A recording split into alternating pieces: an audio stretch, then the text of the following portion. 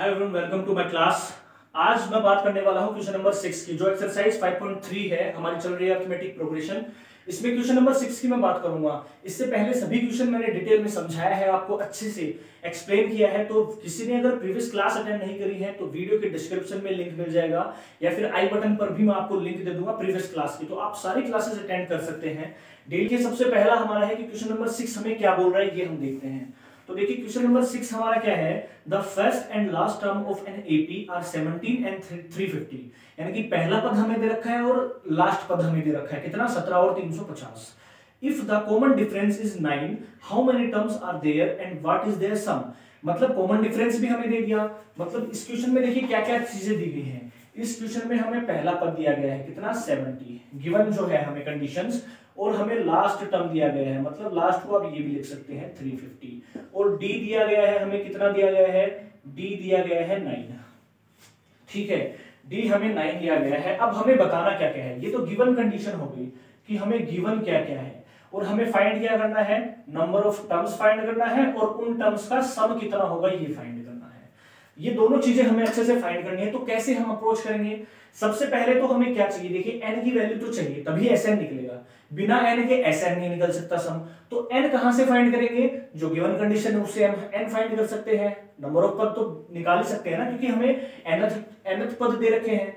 ठीक है? क्योंकि देखिए ए एन का फॉर्मूला क्या होता है? ए एन का फॉर्मूला होता है a plus n minus one into d अब यहाँ से एन निकाल सकते हैं। क्यों? क्योंकि ए भी दिया गया है डी भी दिया गया है और ए एन भी दिया गया है। रख दो सारी वैल्यूज़ ये देखिए 350 यहाँ रख दिया हमने। ए की वैल्यू 17 रख दी। N minus one into d की वैल्यू कितनी दे रखी है? नाइन रख दी। इसको सिंप्लीफाई कर लीजिए। थ्री फिफ्टी बराबर कितना आ जाएगा?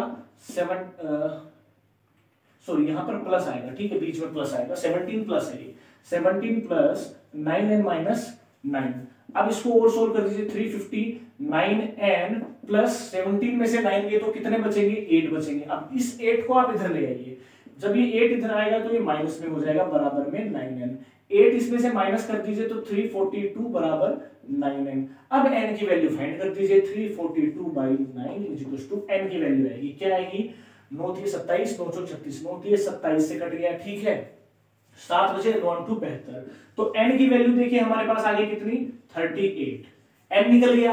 अब एन हमारे पास आ गया तो एस एन वाला फॉर्मूला याद कीजिए, उसमें सारी वैल्यूज़ रख दीजिए। तो देखिए, आगे हम कैसे करेंगे? आगे हम देखिए, यहाँ तक हमारा एन आ गया। एन की वैल्यू 38 आ गई। अब एस एन क्या होता है? N upon two into two a plus n minus one into d ये फॉर्मूला होता है।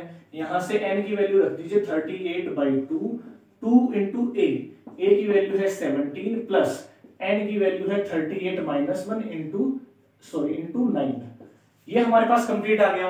अब देखिए, इसको सोल्व करेंगे तो ये कट जाएगा। ये 19 ही बचेगा। 17 दुनी कितने होते हैं? 34 होते हैं। प्लस सैतीस गुना कितना आ जाएगा? नौ। इसको फर्दर सॉल्व करना है मल्टीप्लाई करना है। कमेंट बॉक्स में इसका आंसर ज़रूर बताना है, क्योंकि अब इसमें कुछ नहीं बचा है। जो भी आपका आंसर आएगा, वही सम होगा। कितने पद होगा? अड़तीस पद होगा। तो ये था हमारा क्वेश्चन नंबर सिक्स बिल्कुल ही इजी अभी नेक्स्ट क्वेश्चन की हम बात करते हैं। तो देखिए क्वेश्चन नंबर सात हमारा क्या बोल रहा है? Find the sum of first twenty two terms of an AP ठीक है? पहले 22 टर्म्स का हमें क्या निकालना है? सम निकालना है। इन विच डी बराबर सात and twenty second term is 149 मतलब एक कॉमन डिफरेंस हमें दिया गया है और लास्ट टर्म मतलब जो लास्ट टर्म है ट्वेंटी सेकेंड टर्म हमें दिया गया है। मतलब ये लास्ट टर्म हो गया।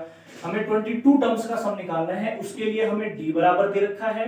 और ए ए ट्वेंटी टू दे रखा है, आप ऐसे मान लीजिए ए ट्वेंटी टू की वैल्यू वन फोर्टी नाइन दे रखी है। फाइंड क्या करना है हमें? एस ट्वेंटी टू यहाँ पर फाइंड करना है। सबसे इंपॉर्टेंट चीज़ है देखिए। इस क्वेश्चन को ध्यान से समझना है, क्योंकि बहुत इजी क्वेश्चन होने वाला है। एस ट्वेंटी टू निकालना है मतलब बाईस पदों का सम निकालना है तो एन की वैल्यू तो पता है आपको यहाँ से कि एन तो बाईस है, ठीक है? एन पता है हमें।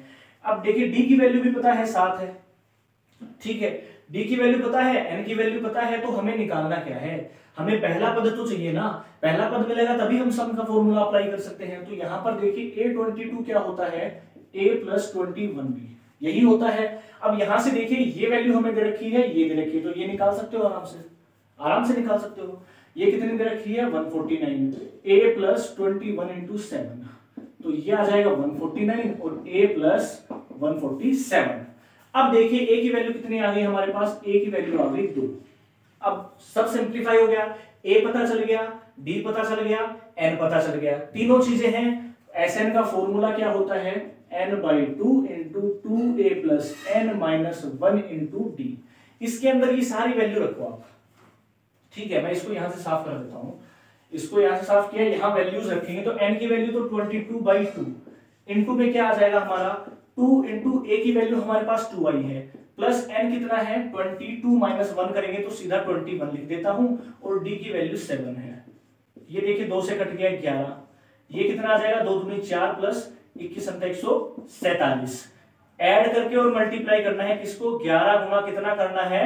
वन फिफ्टी वन और इसको जो भी आप मल्टीप्लाई करके बताओगे, वही आपका आंसर होगा। तो ये था बिल्कुल इजी से।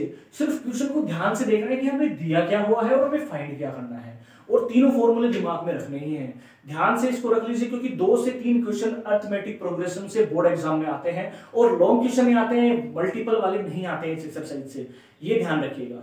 नेक्स्ट क्वेश्चन देखते हैं question number eight question number eight हमें बोल रहा है find the sum of first 51 terms of an AP whose second and third term are 14 and 18 respectively. मतलब हमें सम निकालना है, इक्यावन पदों का सम निकालना है और उसके लिए हमें दे क्या रखा है?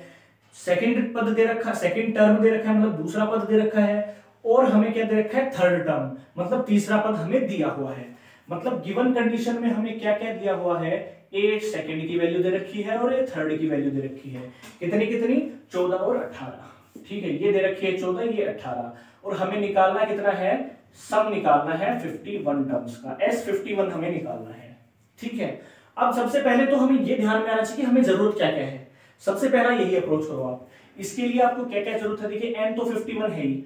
मतलब ए चाहिए आपको डी चाहिए। ये दोनों अगर चीज़ें आपको मिल जाती हैं तो आप बिल्कुल फॉर्मूले में रख के आंसर निकाल दोगे। तो यही चीज़ हम कहाँ से निकालेंगे? ये दोनों चीज़ हम यहाँ से निकालेंगे। ठीक है ए टू की वैल्यू मतलब ए टू दिया हो तो इसको हम कैसे लिखेंगे? ए प्लस बी लिखेंगे। ये एक इक्वेशन मिल गई सेकंड ए थ्री दिया हुआ है मतलब ए प्लस टू भी आ जाएगा। ये एटीन इक्वेशन नंबर टू इन दोनों को सोल्व कर दीजिए आप इलिमिनेशन से। इसको एलिमिनेट करेंगे, ये माइनस का साइन हो जाएगा। तो ये कितना बचेगा? माइनस का डी बचेगा। ये माइनस का चार बचेगा। तो डी की वैल्यू आ गई चार। बिल्कुल इजी तरीके से होते हैं क्वेश्चन ठीक है डी की वैल्यू चार आ गई। अब ये वैल्यू आप रख दीजिए किसी भी इक्वेशन में। चाहे तो इसमें रख लीजिए, चाहे इसमें रख लीजिए। ठीक है? तो इसमें रखा हमने ए प्लस फोर बराबर फोर्टीन यहाँ से ए की वैल्यू आ गई टेन अब देखिए ए भी पता है डी भी पता है एन भी पता है. एन यहाँ पर है 51 टर्म्स का जो निकालना है. तो फॉर्मूले में पुट कीजिए, सारी चीज़ें फॉर्मूला आपको पता ही है. और इसको आगे आपको सोल्व करना है और कमेंट बॉक्स में इसका आंसर ज़रूर बताना है. ज़रूर इसको ट्राई करना है. कुछ भी प्रॉब्लम आती है तो टेलीग्राम ग्रुप में आप क्वेश्चन पोस्ट कर सकते हैं अपने. वहाँ पर मैं कंप्लीट सॉल्यूशन आपको दूँगा. हर आपका डाउट सोल्व करूँगा. तो अगर आप लोगों को आज की क्लास अच्छी लगी हो तो यार ज़्यादा से ज़्यादा इसको शेयर कर दीजिए अपने सभी फ्रेंड्स में। और चैनल पर नए हैं तो चैनल को ज़रूर सब्सक्राइब करें और बेल आइकन को प्रेस करें, ताकि सभी वीडियोस का नोटिफिकेशन आपको मिलता रहे और कोई भी कॉन्सेप्ट आप मिस ना करें। मिलते हैं नेक्स्ट क्लास में।